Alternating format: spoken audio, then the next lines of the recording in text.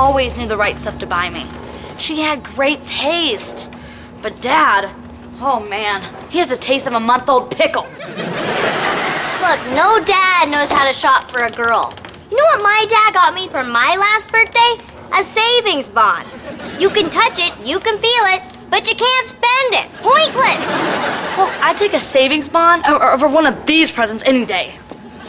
Behold, the ghost of holidays past. I think I'm gonna be sick.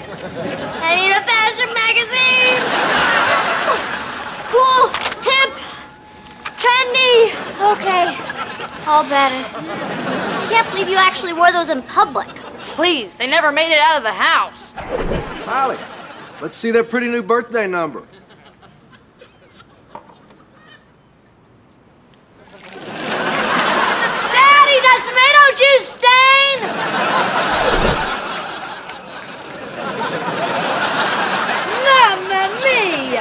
That's a big stain!